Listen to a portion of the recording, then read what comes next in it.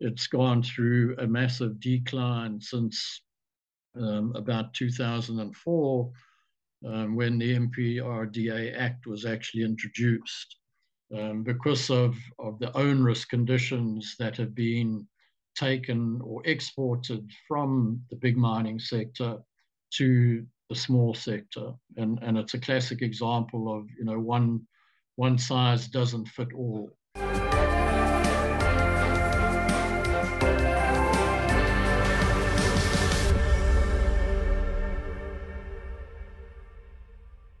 Diamonds are forever, or are they? Well, joining me to discuss the current state of the diamond industry and its uncertain future is John Bristow. He is an independent consultant and somebody with many decades of experience in the mining sector.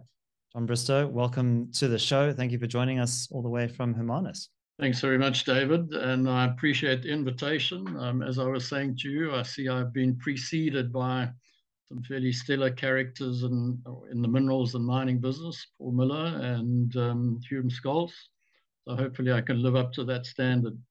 Um, and I look forward to discussing, you know, this amazing industry, which um, goes back about 2,000 years. I'd encourage our viewers and listeners to check out those episodes, but those were more focused broadly on the mining industry. But I've brought you in to talk about diamonds specifically, yeah. uh, which is yeah. something that you know, perhaps doesn't feature as prominently in the mining conversations. There tends to be a lot of focus on gold and the platinum group metals as well. Uh, but could you take us back in time to the history of the diamond mining industry and how it all started back in the 1860s in South Africa, but before that in other parts of the world? Yeah, yeah. Um, historically, the diamond business goes back to to effectively India um, and the the um, Silk Road, um, whereby India fascinate or fascinatingly has um, also over many years and, and, mostly, as I say, it started 2,000 years ago, produced um, exceptional big diamonds. And, and and for those people who followed the industry a bit, you'll have heard of the, for example, the famous Koh-i-Noor diamond and the Hope Diamond, and, and there are a number of others, um, you know, with well-known names. Um, many of them are in places like the Smithsonian um, Institute or Museum. And, and, and those big diamonds came out of a big river system, which is actually not unlike our, our Orange River system in this country, which also produces exceptionally big diamonds. And we'll, along the way, I'm sure today, talk a little bit about those exceptional diamonds. So, so those big diamonds were were mined and traded mostly by the Mo, the Mughals, Mughals who um, obviously, you know, then traded traded down the Silk Road through to what is modern day, you know, Iran or Tehran, and, and those those countries. Um, so that so these were luxury products already back in those days, being traded along with other, you know, jewels, precious stones um, and, and, and mined by slaves effectively in, in this massive Krishna River. Um, and I've, be, I've been fortunate enough to do work in India and go back to those um, parts of, of the big Krishna River, and you can still see some of the, the remnants of the historical workings. Yeah, I went to uh, India in 2007, and the Red Fort in Old Delhi, a fairly unassuming uh, structure today, but I was told that it used to be that the walls were bedecked in, in diamonds and jewels, uh, but those were all ripped out when when old Delhi was sacked. Um, yeah. yeah. Okay. So quite a uh, quite an auspicious history there. No, it's a wonderful history, and and the place to go to next time is um, is is down in in um, in sort of central India, what what is now I guess um, Andhra Pradesh, um, you know, where there's the Golconda Fort, outside Hyderabad. And, and it was one of the, the, well, it became, it's quite close, obviously, to the, the Krishna River, which is um, probably a hundred, couple of hundred kilometers further south. And that was the point where, or, or the place where a lot of those early diamonds were actually traded and then, you know, got on the camel trains or, or, or, they didn't have passenger trains in those days, but then were transported around or down the Silk Road and ended up in other parts of the world. So, so there's a whole famous history of the, of the diamond trade, which, as I say, go, goes back 2,000 years. and and it's it, you know it's a remarkable journey, which then sort of tailed off. Um, the alluvial diamonds have been produced in India, um, got scarcer and scarcer. The grades in in the in the old rivers um, became less and less and and the trade then for a while moved to to Brazil. Brazil also has a a long history of alluvial diamond mining mostly, and again um, biggish stones, but particularly coloured stones. So prior to South Africa, and you mentioned South Africa becoming the, the home of diamonds following the discovery on the Orange River in 1866, Brazil um, went through um, some years of also of, of, of, fairly significant diamond production from sort of the, the, the, the, late 1500s into the early 1600s, and then that tailed off. And that was when, you know, a young boy, um, supposedly on the banks of the Orange River, picked up a, a pretty stone down or between Hopetown and Douglas. Um, most of us will know where Hopetown is. It's more or less where you go across the Orange River on the way to, to if you're driving from Cape Town to Johannesburg. Um, and there's a farm there known as the Kalk, and there's a, a, a plinth, um, you know, still demarcating that site, that um, locality where that early diamond was discovered. It was subsequently shown to a passing, um, I think he was a bit of an entrepreneur trader, guy, I think his name was Atherstone. Um, he was based out of Grahamstown and he identified it as a diamond. It then ended up in London. And, and in a sense, you know, the rest is history. Um, so that so that 1866, 67 discoveries on, on the Orange River really were the start of what was to become, you know, South Africa's diamond industry. It was, of course, also that discovery and and the you know machinations of Cecil John Rhodes subsequently in the in the later 1860s and 1870s, which um, you know for good or bad created the initial wealth in this country and set off um, the diamond mining frenzy and and and the capital that you know was created and generated out of Kimberley um, then further led to you know, exploration for gold in, in the Highveld, um, bearing in mind that um, gold had already been discovered in Pilgrim's Rest um, um before the gold in the Wits, um, and then, you know, the, the, the sort of movement of prospectors around the country ended up with the Wits discovery. Although, although there's, you know, again, there's an interesting side to the discovery of most of the minerals in this country. Um, David, is you know like um, like the, the diamond discovery, it wasn't done by a geologist. It was a, a child on the banks of the river. the, the, early gold discovery at, in the Wits was um, at Langlaagte by effectively a farmer. And, you know, a number of our other um, discoveries have also been made um, by prospectors and farmers. So geologists came a little late to the scene in this case. And you yourself trained as a geologist and subsequently worked in the diamond industry for, for many decades. Could you uh, give us a, a, brief synopsis of how you got interested in this line of work? Yeah, absolutely. I, I grew up in a, um, a family of five boys in, in Estcourt in KZN, went to Estcourt High School and back in those days, you know, there was was no TV, smartphones, and all of those distractions. So, so we were a very out, outdoor family. No, no podcasts. um, yeah, no podcasts as well. Um, we we had um, two lovely headmasters at my junior school, and then subsequently at Estcourt High School. In fact, you know, us older people will remember R.O. Pearse. He wrote a wonderful book called The Barrier of Spears, and he lived for climbing the Drakensberg. So so we ended up spending a lot of time outdoors, um, walking or paddling canoes and so on. And, and I ended up picking up, you know, pretty rocks in, in the veld, And that sort of um, created my eventual passion for geology. Studied at um, University of Natal, where I did my four-year honors degree and then an MSc in geology. And then I did a, so I was a long-time professional student. I also played quite a lot of fun cricket among some of the best at the time, and um, then did a PhD from 1977 to 1981 here at UCT. Um, and we, um, back in those those years, um, the um, you know South, South Africa was effectively the universe for for diamonds and diamond studies and diamond research. Um, there's an interesting byline there as well. Um, when the early um, diamond mines were discovered in Kimberley, and, and many people don't appreciate, but there were actually five big holes that ended up being discovered, uh, or, or, big kimberlite pipes being discovered and then mined. Um, and you know those holes are still there today. Um, one of them, the Kimberley mine, um, Kimberley um, De Beers mine, sorry, has been filled um, with slimes from a mining process, remining the old tailings. Anyway, when you mine those diamonds in 18 or those kimberlite pipes to recover the diamonds in the 1860s, 1870s, early and even into the early 19, sorry, the uh, the, the um, where am I?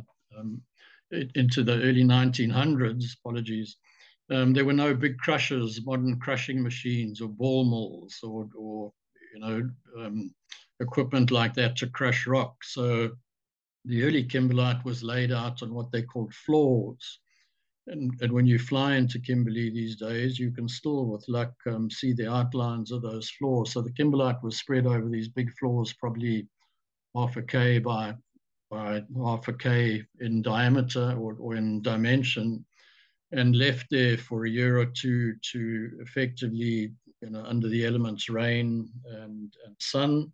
Kimberlite disaggregates quite quickly. It's a relatively soft rock and um, they then in the early early years ran big um, herds of oxen across the kimberlite or eventually the big steam tramp um, steam engines with those big steel wheels and that broke down the kimberlite and they would then push the soft kimberlite aside to a dump and they'd leave the the hard there was a lot of sort of hard rounded boulders in the kimberlite, those many of those big boulders turned out to be what we call nodules, um, pieces of, of the mantle um, carried from 150 more, 150 kilometers and more from depth, and and and and, ulti- and ultimately those those nodules or xenoliths, as we call them, have provided a wonderful window into the mantle structure. So to form a diamond, um, you need about 1200 degrees centigrade and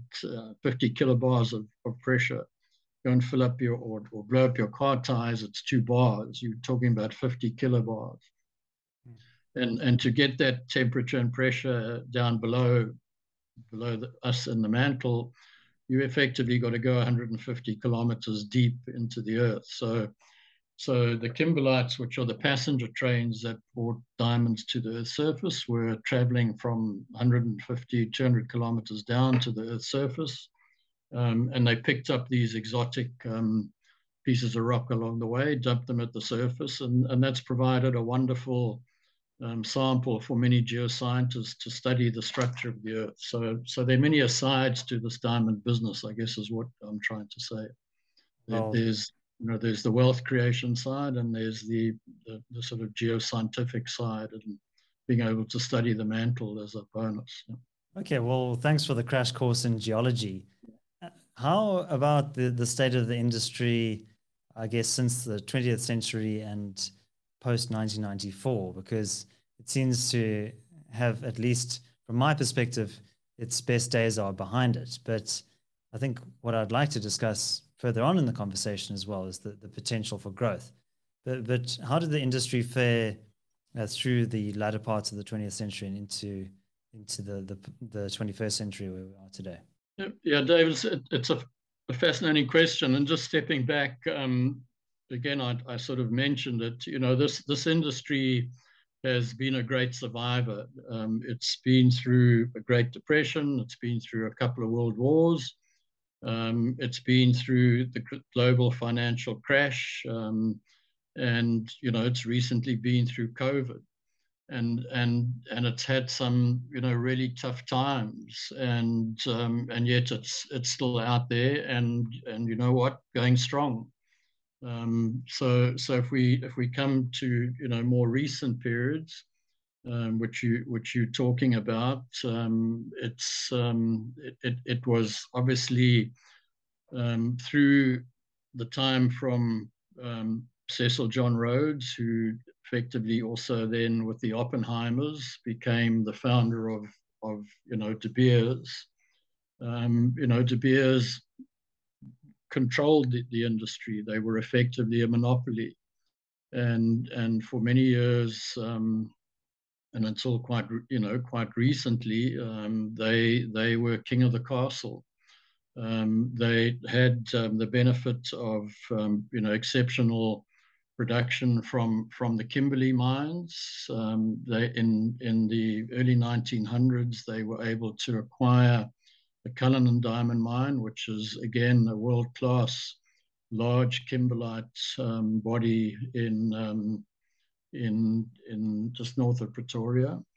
And then as part of their exploration play, um, they were able to eventually encourage and and I guess um, enter into a partnership which is still in place today, and it's been an exceptionally interesting and I think overall beneficial partnership with Botswana.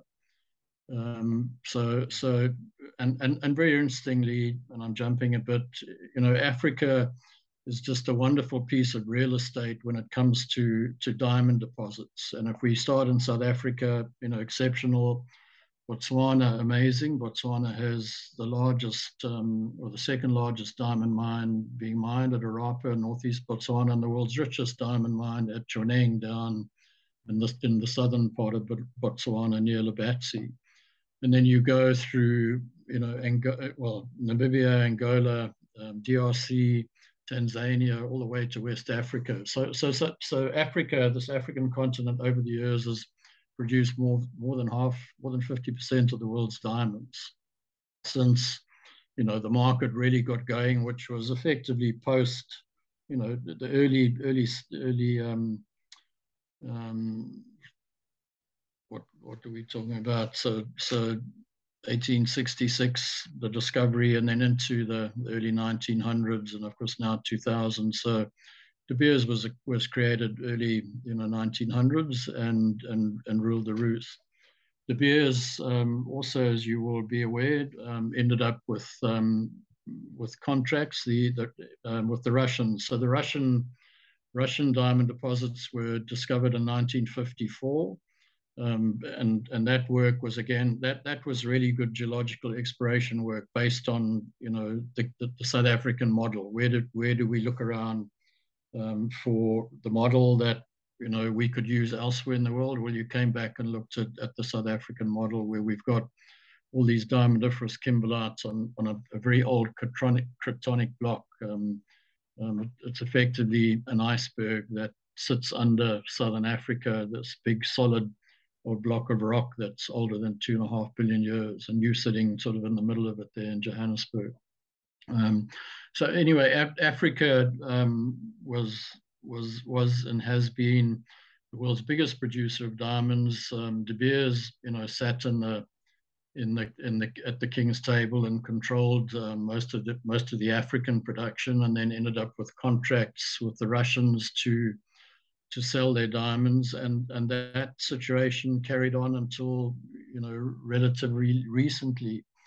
Um, and at the time that I joined De Beers in in first of January 1983, um, the antitrust laws were still in place in in the in the US. So you know we De Beers employees couldn't go near the place, and potentially you you know you could get locked up um, um, De Beers, you know, through very clever mechanisms and, and offshore companies, certainly, you know, were able to sell their diamonds into the States. But again, you know, there's another facet to this, and that gets back to India, India being the world's biggest manufacturer of diamonds. So most of the world's diamonds end up being bought and manufactured in India and then resold all over the world. So you know that gave them some some some sort of um, wiggle room as well.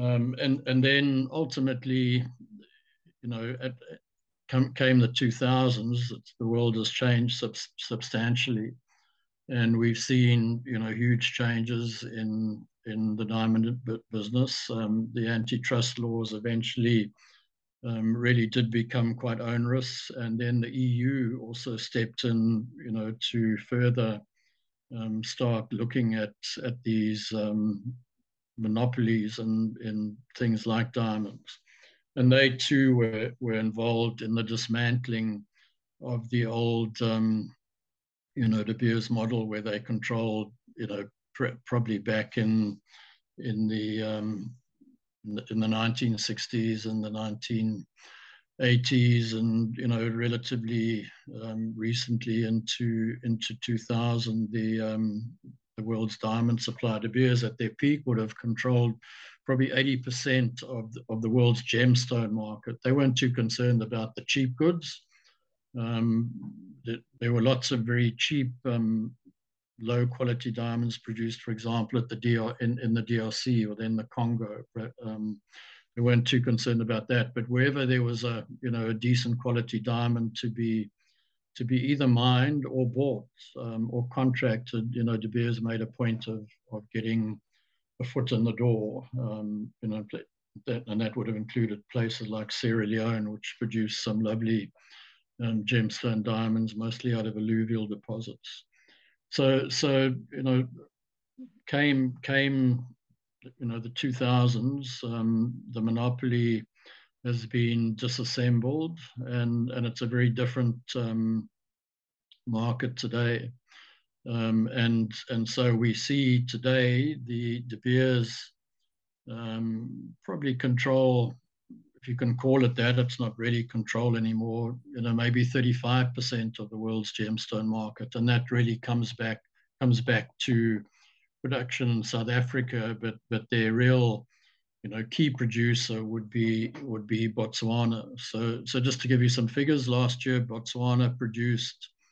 about 22 million carats. That that was in in, in COVID, where De Beers had actually sort of held back on production, given there were some some market issues in early 2020 at the start of COVID.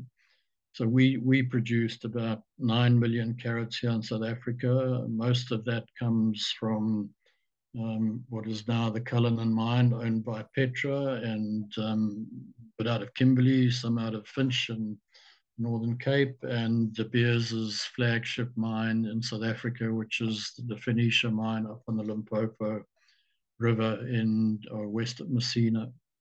Um, last year, as I said, um, Botswana was 22 million carats. Russia was 39 million carats. But to put that in perspective, very interestingly, if you look at the value of Botswana diamonds, um, their aggregate value for last year was um, $4.6 billion. Um, that's the value of the goods that came out of the ground, rough diamonds. Russian production was much larger, but their average value of, of stones, diamonds, was only about two and a half billion dollars. So, so we have this, you know, very interesting aspect of diamonds. No, no two diamonds are the same. Um, some kimberlites have um, have, have high value diamonds. You know, many many kimberlites around the world have diamond values which are much lower.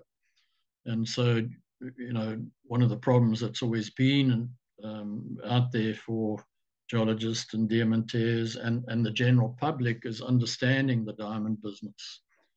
Um, and, and, and, and one of the legacies that has probably hurt South Africa and, and I think De Beers has been the opaqueness of the industry sort of in its heyday. It was a very, um, unfortunately, opaque industry. De Beers purchased and most of, produced most of the world's diamonds. They were all sent to London to the DTC, the Diamond Trading Company. They were aggregated there and they were resold. And, and you know, it's, it's also an industry which has a, a stigma of transfer pricing um, because there's no, you know, you you will know better as well as I do that if you want the gold price, you'll go and look it up on at the London, you know, metals market, or if you want the tin price or iron ore price or manganese or you, or you name it, you can go and get it instantly. But there is no, um, you know, readily available price for a diamond. And, and I, I can show you a diamond which is, you know, quite large, 10 carats, and it's black and cruddy and it's probably worth $10. I can show you same size diamond, which is glossy and clean and can be worth, you know, a hundred thousand dollars or a million dollars. And that's that's always been the the problem of, the business. And um, and just to digress again, it, has been very interesting that you know Canada, um, Canada, there'd always been showings of diamonds, and people you know suspected there were also kimberlites, but it's a you know it's a tough place to work. It's um, large part of the earth's cold and covered in snow. It's not that easy or it's expensive to prospect there. Anyway, in 1991, you know, world-class diamond dis discoveries were made in Canada um, by a junior company, and you know, Canada has lots of them, junior exploration company. And suddenly there was this, you know, diamond frenzy or frenzy of exploration around, around the world. And, and because you had all these junior companies active in the market, um, you know, the company that went out and made the first discovery was a company led by an amazing character, Chuck Fipke, um, a grassroots prospector, and his colleague um, was actually a geoscientist and a very good glaciologist, and he helped Chuck sort of make this discovery. Any, anyway, you know, those guys all raise public funds and need funding regularly to um, fund their operations. And of course, the best thing that they could um, do to achieve that was every time they found a diamond, they put it into the market with its value, with its size, with its price, the whole tutti. And, you know, if you found a, a couple of good diamonds and even what we call micro diamonds, exceptionally, you know, tiny diamonds, which we find in prospecting samples, they would put it out in, in the market. And, you know, suddenly the world started to learn about what the value of diamonds were. Um, so the Canadians did us a big favor, and you know that these are all events that I'm now throwing in that have really changed the diamond industry and made it a whole lot more transparent, which has been good for the industry, given given that previous opaqueness. Um, so, so um, you know that's that's in the background. In in the background, once you know initially a monopoly, that worked. It was um, a very smart, you know, smartly run outfit um, by very smart people. And then the, the, you know those people, the the hierarchy of De Beers, and obviously you know Anglo American is very much still part of that process, have managed the process to, you know, through the through the 2000s, early 2000s, to the point that you know De Beers are no longer in the in the controlling seat. Um, they have a big competitor you know, in, in, in Russia. Um, they've had, a, an, again, a very strong competitor in, in Canada. And then um, in, in Australia too, Australia again has, you know, big expanses of geology. A lot of the geology there is similar to what you find in, in Southern Africa, and, and it has cratons and old areas and young areas, and it has had kimberlites and diamond deposits. Anyway, in, in 1983, in the early 1980s, there was a world-class diamond mine discovered in northwest Australia called the Argyle Diamond Mine, which um, you know suddenly shock horror was not in the in the grip of De Beers and produced um, at its peak about 40 million carats. But the you know the average average of those diamonds, the average production value was nine dollars a carat, so real cheap goods. But again, um, credit to De Beers and and the Indian Diamantaires um, and Argyle Diamonds. They collectively were able to ensure that that you know real um, large avalanche of cheap diamonds were were absorbed by the market and were cut and polished um, by Indian diamantaires, mostly um, mostly family businesses, mostly based in Surat in northwest India, and and and that that again is just a very good example of how this business has managed to keep adapting to change and and to challenges and and as it you know has done for example, I mentioned through the global financial crash and, and again through COVID. So, so you know, it's not a business to be under, underestimated by any means. It's it's a it's a it's a strong-willed business, and it's still going well. So, John, let's turn the conversation now to South Africa's diamond industry. And I remember growing up listening to Paul Simon's Graceland, and he's saying about having diamonds on the soles of your shoes. So, I guess uh, that is true, given what you said about South Africa's rich uh, diamond endowment. Um, so, yeah let's talk about the policy framework uh, as well as the, the industry. So, I mean, we have the Mineral Petroleum Resources uh, Development Act, the MPRDA, that is quite constraining of, in, particularly in terms of the uh, mineral rights that miners have. There's a number of regulations around empowerment, etc., all of which are constraining the industry. Could, could you speak to that? Yeah, yeah, David. I mean, the Minerals Petroleum Development Act, um, Minerals and Energy Petroleum Development Act, has um, um, you know been a big game changer, and and I think um, and and and I I was um, to an extent part of that. Um, we put together. I, left De Beers in in 1994 and helped put together an, an, NGO known as the Minerals and Energy Policy Center, where we, you know, took on board young young technocrats, mostly young black um, graduates and, and people who had either done some geology or hadn't, and and helped expose them to to the minerals industry, and also took them overseas to look at how um, countries like Australia and Canada and others ran their mineral jurisdictions. And, and so it, it was, and, and we helped write the original white paper. Um, a lot of it, a lot of the really good work was done by Richard Good, who I think is still at the South African or the Development Bank. And um, so, so it, it, you know, it was a good piece of work, and I think everyone at the time was um, you know, very enthusiastic about the changes going on in South Africa under, under uh, Mr. Mandela. And, um, and there was clearly a need for change. Of course, at that time, you know, one of the big arguments is that the existing large mining companies had sat on mineral rights and, and deposits for for many years and hadn't always developed them uh, because they had, you know, pipelines that were were, were very active and they would typically develop, you know, the easy parts or the rich parts, but they hadn't necessarily gone and looked at some of the other deposits they should have. Anyway, so that, that legislation came along with change.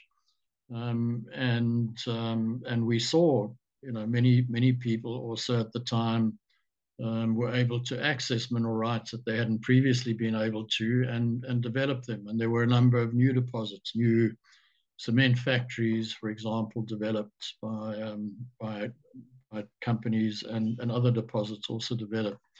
Um, and, and, and, you know, unfortunately, along the way, I don't think it's really achieved what it um, should have um, achieved. And, and, and that takes me to sort of a, you know, a passion of mine is that um, if, if you want to maintain your mineral, your mineral endowment, you really need to keep on exploring you need to to keep finding you know new art new ore bodies to find you know ore, depo- ore deposits that have been depleted. Never forgetting that you know all these um, gold mines platinum mines um, diamond mines all have a finite life. Um, obviously the, the lifespan of a mine also is dependent on the economics. Um, if prices go up you know you can mine low grade ore. If prices go down you you can't um, but but along the way, um, I think um, we we've ended up with a, an imperfect system, um, and it's really stifled the, the, South African mining industry, and it's created um, you know probably too many layers of, um, of, of regulation and red tape, and and it hasn't it hasn't fostered exploration. And, and, and, and, and one of the big reasons, and you've had a couple of previous experts like Hulme Scholes and, and Paul Miller talk about this, I'm sure, but you know, we, we, we don't have a, a particularly um, reliable and efficient uh, mineral cadastral system whereby you you know you know what mineral rights or, or properties are out there and available available for prospecting you know which ones are being actively mined and and importantly you know which ones have been you know shut down and you know should be rehabilitated so we don't you know we we unfortunately have this big problem of old mine dumps and mines that haven't been you know, closed properly or rehabilitated and create dust and other pollution problems or become, you know, hotbed for zama zama. So, so those are, or some or some of the negatives, you know, in the background. Um, and and and and and what you see is when you go to countries like Australia and and Canada, um, you know, access to information, um, access to a cadastral system is very easy. If I want to go and explore for it, you know, for diamonds in the northwest of Australia, I can I can almost make an application from sitting in my desk in Hermanus on my laptop. That's how efficient the cadastral systems are in in those countries. And and you know the best examples are Australia and Canada, and and Botswana for that matter too is is a really you know very friendly place to go and explore and to find new deposits. And so you, you know, again, we see at the moment, particularly after, you know, diamond prices have also increased after COVID. Um, we've had kick-ups in, you know, most of the world's prices, uh, mineral prices post-COVID. And so Botswana is a busy place. And if you compare that to South Africa, it's a very different here. You know, it's just too hard. We see less and less investment in year, every, every year in our mineral sector. Um, so, so as I say, I, I, think the process started well. It hasn't ended up well, and it's been very negative for uh, our, our, our, minerals and mining industry. If we get back to diamonds, um, yes, our, our diamond industry is an old industry. It's been going since you know the late 1800s.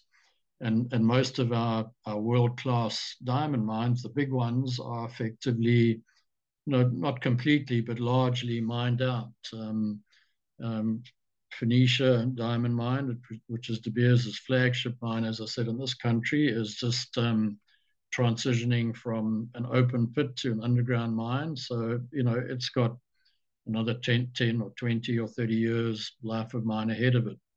Um, the Cullinan mine north of Pretoria again has probably another 20 or 30 years or maybe maybe even longer, but it's an underground mine.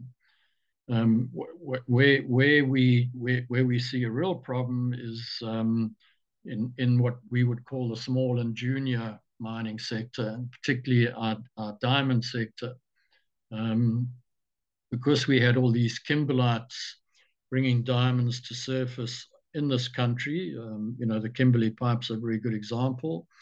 Um, they most of the Kimberley pipes are 80 million years, and those pipes at the time of eruption or placement um, 80, 80, 90 million years ago.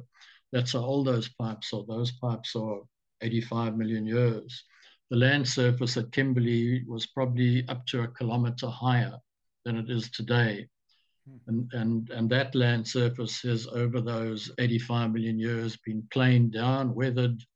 Um, you know, it's been beaten up by big rivers like the Vaal and Orange and it's um, it's been um, effective, effectively deflated. And those diamonds that sat in the top parts of those now eroded pipes, and the same applies in Botswana, have been transported down our big rivers to the west coast. At the west coast, we have amazing um, marine and coastal diamond deposits on our old beaches. And we have wonderful um, alluvial deposits all the way or most of the way down the Orange and Vaal River, um, you know, heading between say Kimberley to to our west coast, and and we we have um, you know great opportunities in this country to go and mine those what we would call secondary or alluvial diamond deposits. But again, coming from a big mining industry here in South Africa, we had all these big gold mines, deep gold mines. So when you have a deep gold mine, your health and safety regime has to be very rigid and tight. Um, you know, we have the same thing in the platinum mines. Our big um, diamond mines, most of them are now heading down to the ones that are still going about a, a thousand uh, meters, nearly a kilometer. So obviously, you know, your your health and safety and pumping and haulage and all of that stuff has to be done to world class standards. Um, when you get onto the alluvial deposits, which are really just um, um, shallow open cast operations, we don't mind in the rivers, but you know up on the banks or up on the the old um, terraces, um, you you then have the opportunity to recover exceptional diamonds again as those diamonds are carried from the kimberlites down these big rivers, they get attritioned uh, over, again, 85 million years. It's like a big mill, a big river taking diamonds, you know, down rapids and waterfalls is going to end up crushing the very poor quality diamonds and leaving you with the big or, or the high quality and exceptional gemstones. So, so whereas a diamond population in a in a pipe around Kimberley might have been or averaged $150 a carat, run of mine as we call it. By the time it gets down the Orange River, it can be up to two or three thousand um, dollars a carat, run of mine. When we get to the west coast, you know, the west coast was where the diamonds were were ultimately carried to and reworked mostly smaller diamonds. Those diamonds typically average five, six hundred dollars a carat, but exceptionally exceptional white, beautiful stones. So, so we, it, it, it's that it's that small and junior, or what we also call mid-tier sector, that we really have um, not helped to grow. In fact, we've we've impeded to, impeded it to the point that it's gone through a massive decline since um, about 2004 um, when the MPRDA Act was actually introduced. Um, because of, of the onerous conditions that have been taken or exported from the big mining sector to the small sector. And, and it's a classic example of, you know, one, one size doesn't fit all. We, we really need, um, you know, different enabling um, legislation, less red tape. Um, um, you still have to have obviously mine health and safety requirements. You need rehabilitation requirements, but it should be at, at the appropriate level for for the job that's been done on the ground. Yeah, that is, I think, where we've really, you know, done a poor job of nurturing and um, or, or instead of nurturing the small sector. And it's, you know, it's probably no different to the entrepreneurs. We have amazing entrepreneurs in this country. But I don't think, you know, across all business sectors, I don't think we really help them. We still locked into, you know, the old mindset of big business is better. Um, so that's, you know, that's what I'm trying to say is that we, we as these big old ore bodies of ours get older, deeper, more expensive to mine. Eventually, they are going to run out. But we have a jewel box of mid-tier and smaller deposits. Um, you know, be it diamonds, be it um, lithium and pegmatites up in the Namaqualand, be it um, the Namaqualand nickel deposits. Um, you know, we have many other minerals aside from just diamonds, gold, and platinum.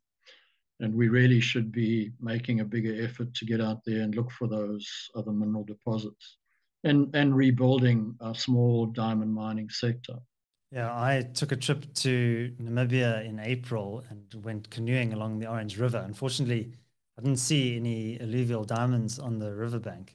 I was looking though, um, yeah. but it's just incredible to uh, on that road trip just to see uh, the, kind of richness uh, of you know various uh, mines and, and, so on, iron ore, etc. Yeah. Um, and and just to reflect on on on that uh, rich resource endowment. But now, how do we crowd in some of these junior miners, John? And you spoke about impediments. Uh, what are those impediments exactly, and how do we start to break some of those down? Because this is the Solutions Podcast. We want to hear what proposals you have. Okay. Well, I, well, I mean, you know, those impediments are um, to start with, I think we could, um, you know, make heaps of improvement and and and leap forward, David, with um, a decent modern cadastral system. and as I say, and and and um, you know, I I can very quickly find out what's available, what areas can be explored in Botswana or Namibia or or Canada or, or Australia. And why don't and, we have that here in South Africa? Well, we we we seem to be anti-transparency. I think you know is one of the big problems. I think um, sadly, and you know it comes up every day in the newspapers. We've had this horrible, you know, years of corruption, and um, that's had a huge impact on on on the country. We we we uh, our, our, our SAMRAD um, cadastral system from the day of its inception, you know, back in I think it was about 2008, um, has been been been a nightmare. Um, you know, to the point that it's um, really hampered investment. And and and I've been actively involved in in the small diamond sector. And as I said to you, I've spent most of my life in this sector, and I made the tr- transition from you know working for De Beers, which was a wonderful experience, into the small sector I raised money, or we raised money, a group of us in Canada, and, and we ran a couple of public companies, you know, mining diamonds along the Orange River. But when it takes you, you know, two, three, and even four years to to make an application for a prospecting right or a, a mining right, um, and and once you've got that, then you still have to get a water, you know, water use permit or water use license. Um, a WUL, as they call it, W-U-L. Um, and then you've got um, a social and labor plan um, that that hooks onto that application, and then you've got to make sure you have your BEE partner lined up. Um, all, all of those for, for, for small operators and, and mid-tier operators become you know real impediments. And then when you when you have further you know overlaid layers of um, mine health and safety requirements, um, rehabilitation. I'm not for one minute saying, you know, none of the, all of those things should be done, but done to an appropriate level and standard where, where the small guys, and many of these operations, particularly alluvial diamonds, um, you know, alluvial diamond deposits are not bankable. You, you, you've been around the block, you'll know what what bankable means in terms of an ore body. So if I find an ore body, and it's the same thing as, you know, if you put together, if you're looking to build a business, you put together a business plan, you take it to your banker. He says, yes, that looks good. He does some background checks on you, and, and you've effectively got a bankable business plan. You know, they'll loan you money. You've got to obviously make a return. When it come, becomes to many of these smaller mineral deposits, be it diamonds or um, you know, lithium would be a good example, or tungsten or tin. They they they they very they, they sort of small, um, mid-sized mineral deposits. They tend to be irregularly dispersed, uh, you know, through the rocks or through through the gravel, for example, in alluvial uh, diamond deposits.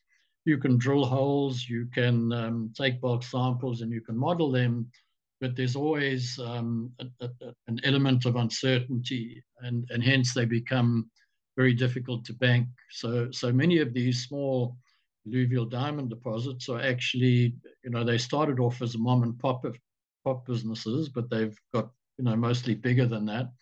They they they effectively run by entrepreneurs, and there will probably be, you know, partnership of three businessmen or or miners who get together and they throw their hat in the ring and they throw their money and you know into into the ring as well. And they go out and do set up their own businesses. And they might have months you know where they don't find you know a couple of big stones that pay pay the diesel and the labor and you know make a profit. So so they're more risky type operations. And and again um, you know you'll probably also be familiar with our banking system and our you know, way that our parents put their money in mutual funds and looked after them. We've never had the sort of um, somewhat gambling approach um, that you know you get in Canada and, and Australia to support entrepreneurs. You know, there's more um, readily available risk capital and and we haven't had that in this market. And you know, when I look at um, you know the number of small companies um, that we have listed today, it's minuscule. and and I think you know we're seeing a massive decline in the number of companies list, listed on our stock exchange. So so when, when you're an entrepreneur running your own business, you know you need to manage your costs very very carefully. Um, the risks are high, and you really need an enabling environment that will allow them to get on. So if you want to apply for a license, it should be quick. Um, you know, there's absolutely no reason it takes you two or three years to get a license in other parts of the world. Um, or Botswana, I can get it probably a mining right in in three or four three or four months. Uh, prospecting right, you can get it probably in in a couple of weeks if the ground's available. Um, so so a cadastral system and, and a system which creates transparency um, is, is something we need. Um, we have a wonderful system, ironically, that's made in Cape Town um, by a little company called Spatial Dimension out of Pinelands. That cadastral system, that, that company was bought out by Trimble, the world's largest land management system.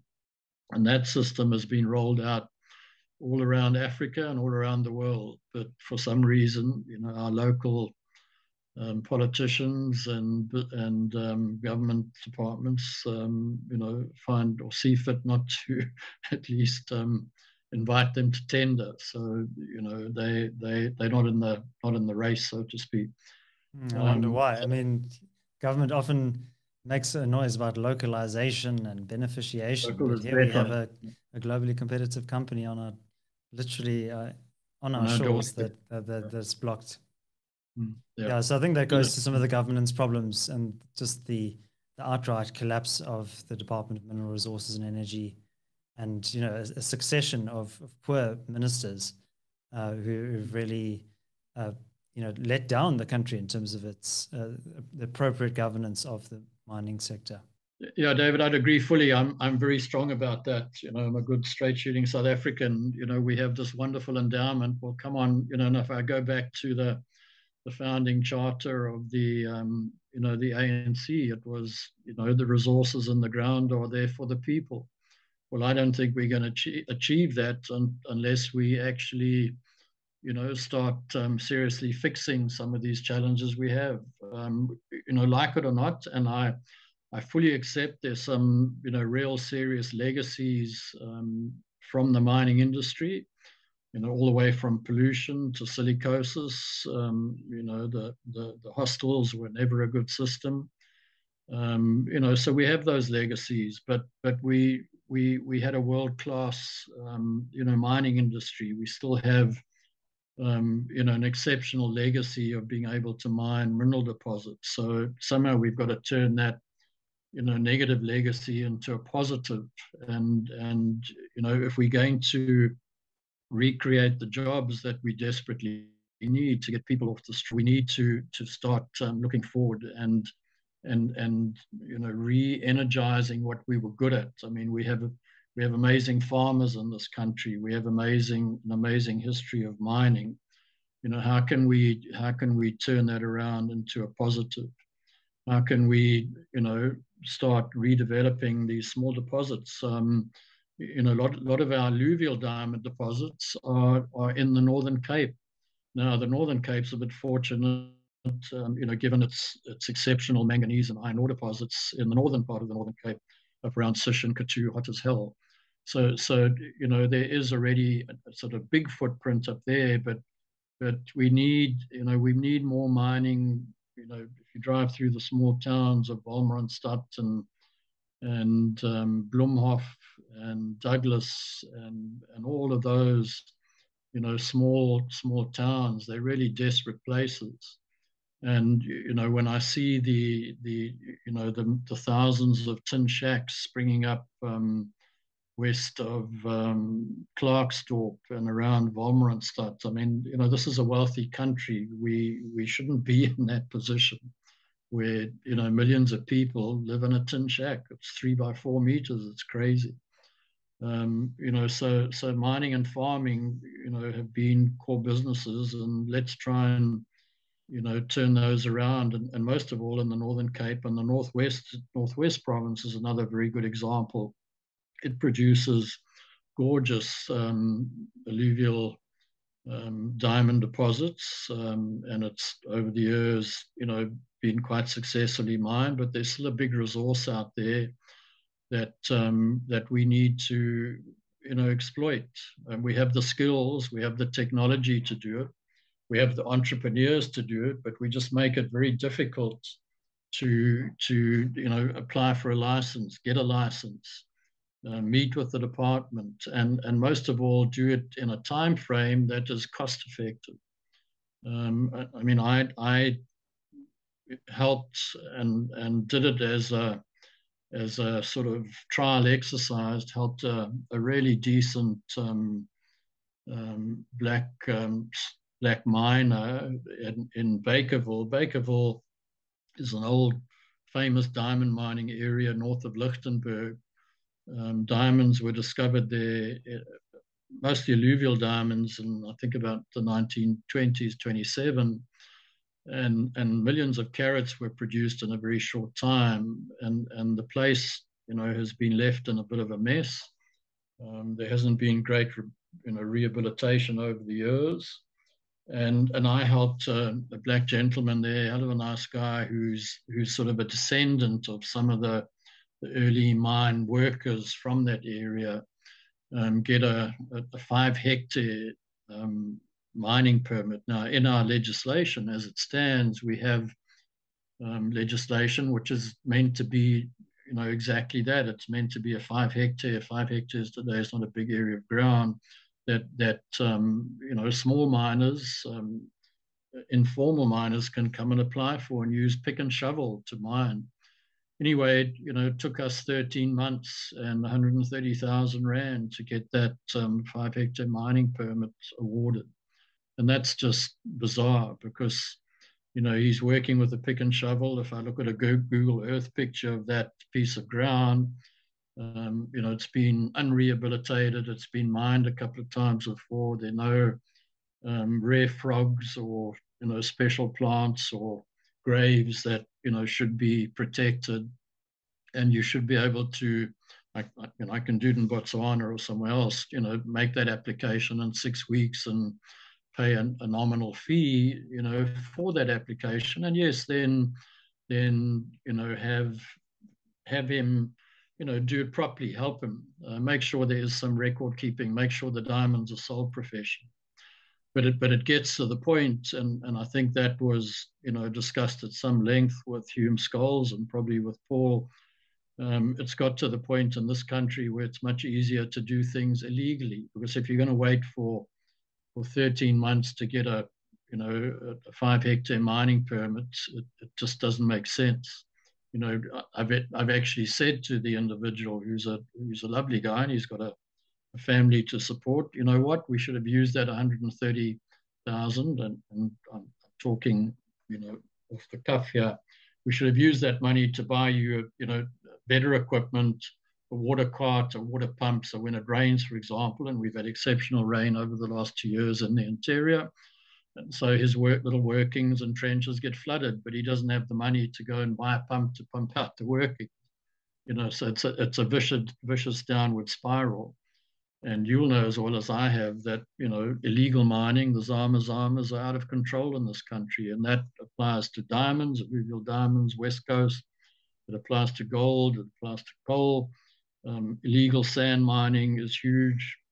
But, you know, if you're going to have to wait for a, a permit for 13 months, you know, and people are desperate to put food on the table, people are going to resort to that. They, they've got to feed families. Obviously, there's a lot of illegality, illegality and the, the syndicates get involved. And it just becomes a downward spiral. But you know, we really need if if, if we generally and, and I think all of us again, myself included, believe in transformation and ownership.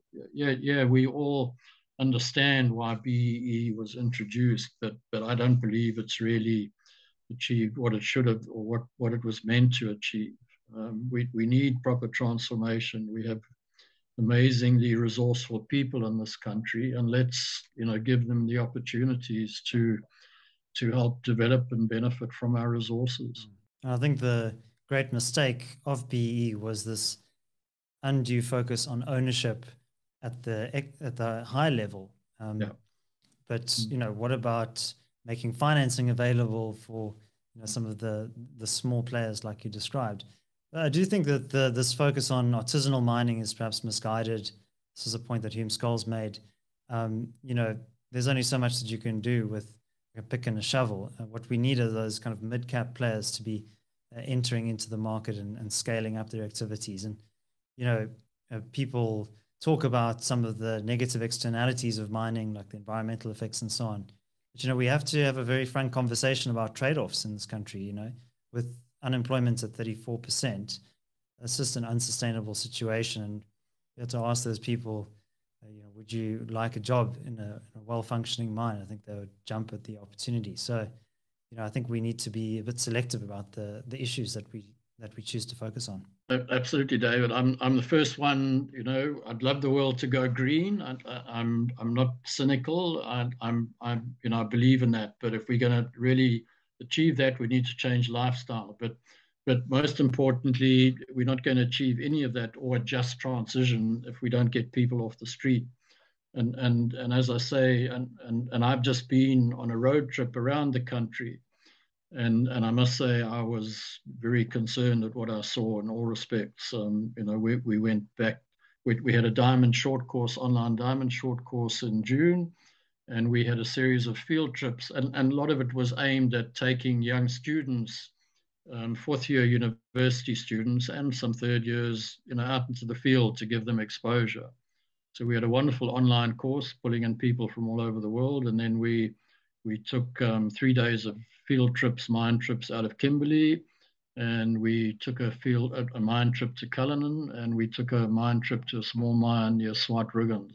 Uh, it was a great experience for the students, and um, and and you see you see the potential out there, and and and unless you know we can start um, getting people off the streets and employing them and and and redeveloping you know resources or, or developing resources that still sit there i mean i haven't i've talked about the alluvial deposits and those would be mostly in the northwest province very extensive and down the the Orange River, um, typically Hopetown to Douglas, Douglas to Prieska, and then at the lower end of the Orange River, and and our west coast. We still have lots of potential on the west coast um, but mostly now getting into the marine setting. But you, you know that that and probably another discussion. But there's opportunity there.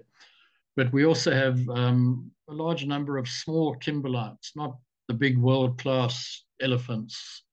Um, those have all been mined out. But we have we have um, small kimberlite pipes, several you know several of them sort of in the Kimberley area and then we have also fissures. So, so those the kimberlite pipes typically getting to sort of a kilometer down, they start getting much smaller, and typically they root or they become fissures. So, so the the original sort of cracks um, from great depth through the Earth's structure or the Earth's crust would have been cracks, and then when you got close to the to the surface, probably within a couple of kilometers of the surface, that kimberlite magma would would have sort of been able to have enough energy to drill a hole and create a pipe. Anyway, so so if, if you erode away the pipes, ultimately you get to the root, and those roots are either small kimberlites or, or fissures. So we have north of Kimberley, we have the Bells Bank fissure system. Um, we have fissures um, at um, Swartruggens, a mine called Helam. We used to have them in the Free State. So there are other small, small kimberlites that could or should have been, again, small, small mines. You know, again, in fairly rural areas where, you know, 150 jobs, as will be created in the small mine that is being redeveloped called Helam near Swartruggens. You know, 150 new employees in, in the Swartruggens area is huge. And, and I think, you know, you will know, you can, you know, typically I think in the mining space, we use a, a multiplier of 10. It's probably more in places, it's probably less in others where, you know, the, the extra family members unfortunately also get supported by by that you know single miner. So you know if we can if we can recreate those sort of small mining operations, we we can make a difference in my view. and and and just to stress again, it's not just about diamonds. It's also, you know, a lot of other um, sort of niche mineral deposits um, that that we have in this country of ours, this amazing jewel box that we should also be looking to liberate.